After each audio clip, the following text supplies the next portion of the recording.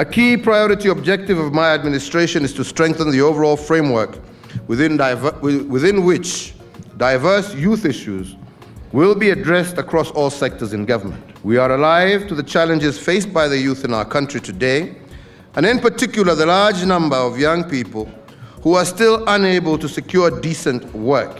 Every single Kenyan child who graduates through our TTIs or through university will be guaranteed a government-sponsored internship for a period of one year to one and a half years where they can obtain the necessary industry experience to be able to gain formal employment. And those who are not able to gain formal employment will have the opportunity of using their experience and through funds that we have, such as the Youth Fund, the Women Fund, be able to obtain loans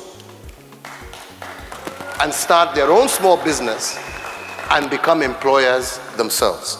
So that is the whole basis around our job internship program. We have laid a foundation. We want to continue building on that foundation. And on that foundation, the principal objective is jobs for our young people. My administration is focused on leveraging the youth potential and building a community of young people that are productive, enlightened, and empowered